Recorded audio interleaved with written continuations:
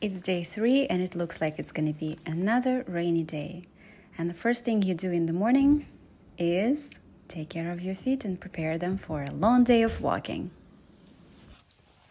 My poncho is on, and today I intend to walk for about 22 23 kilometers and make it to Comillas.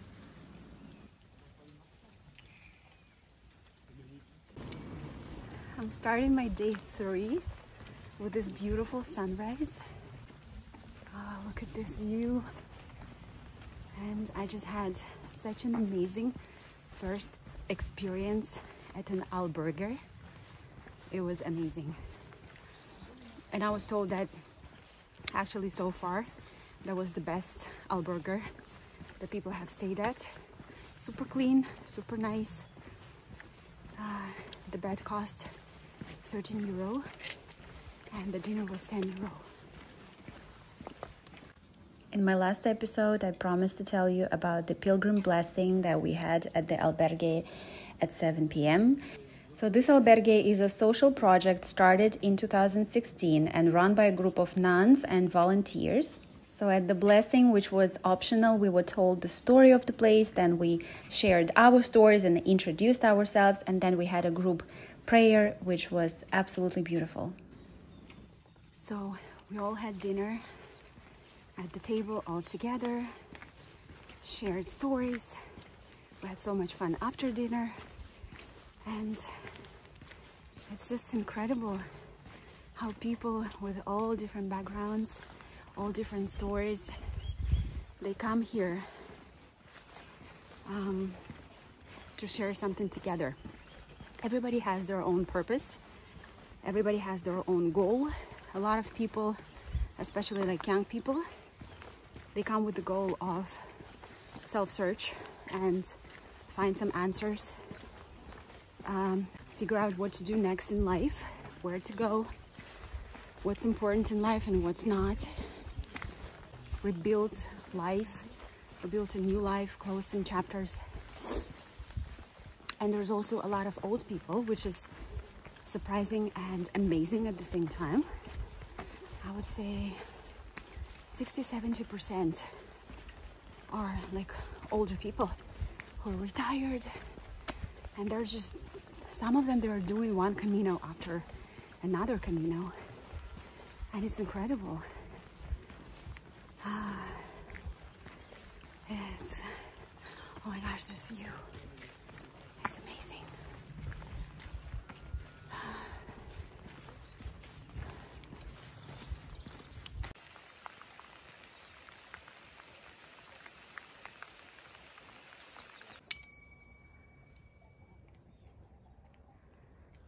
That is so gorgeous. Oh la la.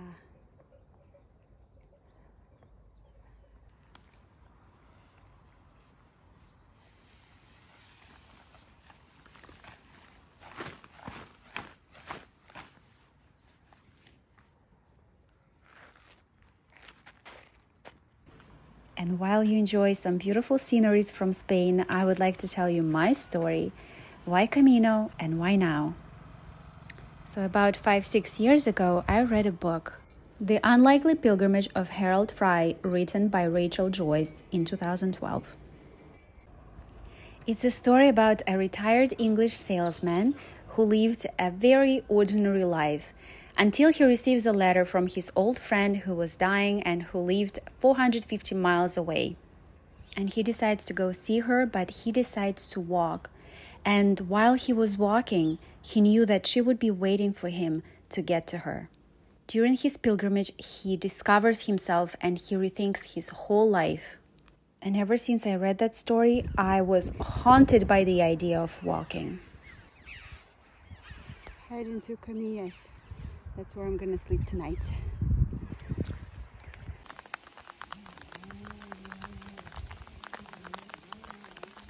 Five years later, it was finally the perfect timing for me. My kids were old enough to stay for a month without seeing me, and I just had a couple of failed relationships, so I figured that would be the perfect opportunity for me to rethink my choices and reconnect with myself. What is the sound? The cows are watching? The pilgrims are watching? Let's go see.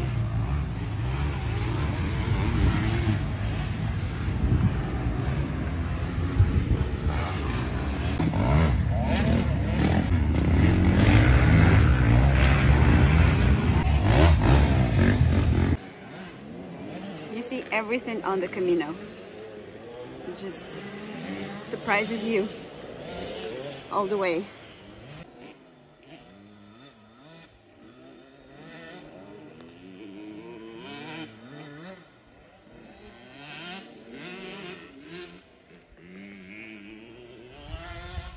Wonderful Camino. I finally get to the coast, which Camino del Norte is all about, but it's still raining. And while I was having lunch, less than an hour later, voila, the sun is out and life is beautiful. As much as I love rain, these views are much better mm. when it's sunny.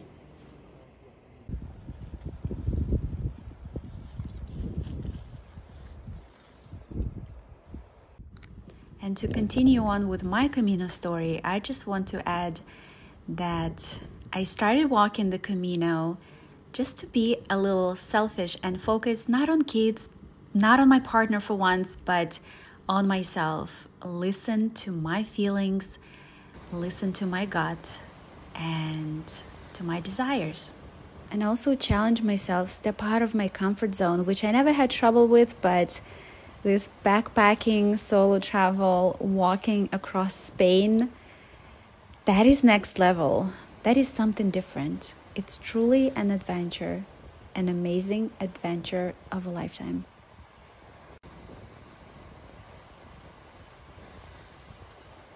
Twenty-three kilometers later, I finally get to my check in, take a shower, do my laundry, you know, the regular pilgrim evening rituals, and then head out to the town of Comillas for dinner.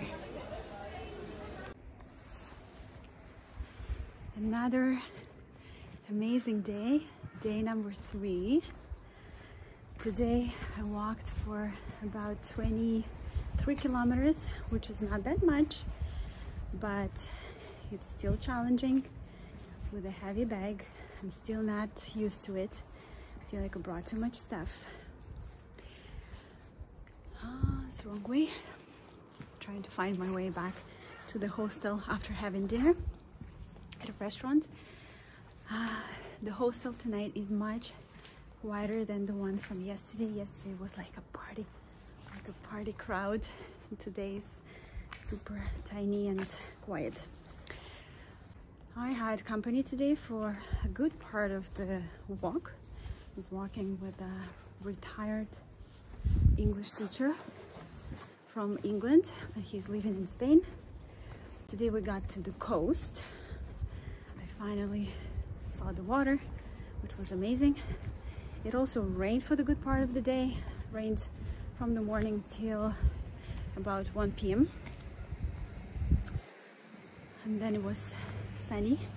In the evening it's quite chilly It's nice. We're staying um, at a small town called Comillas. I love the architecture in Spain. I love the all little, like these little houses decorated with flowers. It's very nice. I'm gonna make a collection of pictures of nice homes from Spain. Tonight I'm going to bed quite early. Tomorrow I have 25 kilometers to walk and then the day after tomorrow 28